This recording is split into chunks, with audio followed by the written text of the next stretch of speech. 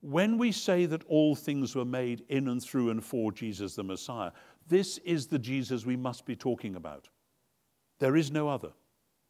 He is the same yesterday and today and forever. And this means that we should at least try to think what it might mean to say that this Jesus and this vision of the kingdom is the lens through which we might understand creation itself.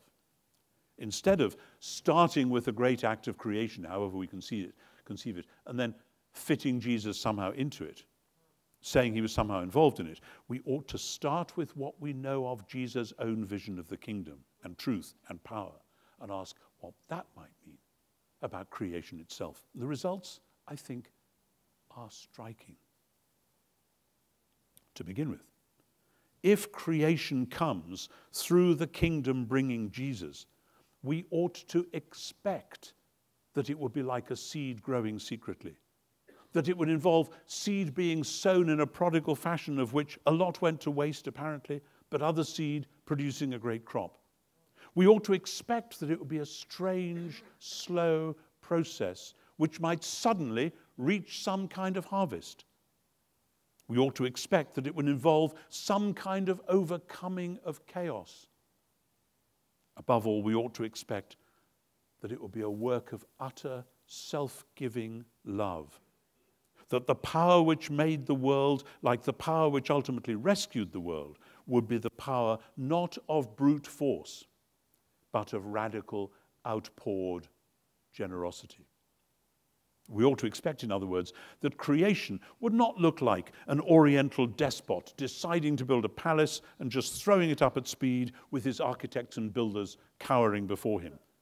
We ought to have anticipated that the deist models of creation, conceived, I think, on the analogy of the early industrial successes in the 17th and 18th century, might in fact be misleading and that they would need correcting in the light either of a better picture of the one through whom creation was accomplished. The deists were keen to get Jesus out of the picture, interestingly. Or in the light of fresh scientific research. What do we find?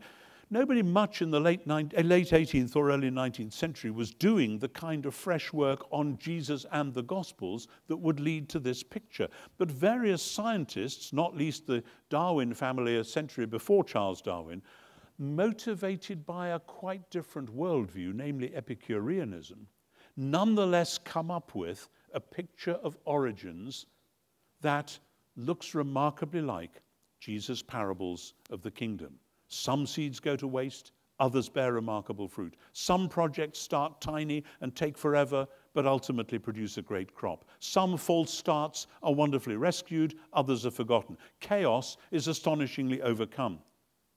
This says nothing about generosity, since that word only makes sense in terms of a personal creator, which the Epicureans, like Erasmus Darwin, Charles's grandfather, had ruled out. That's one of the major, major differences. But the evolutionists were driven again and again to speak of the prodigality of the natural world. And the theologian can pick that up and say, yes, precisely what you might expect if there was a God of boundless, generous love behind it all the prodigal Father, the God we know in and as Jesus the Messiah.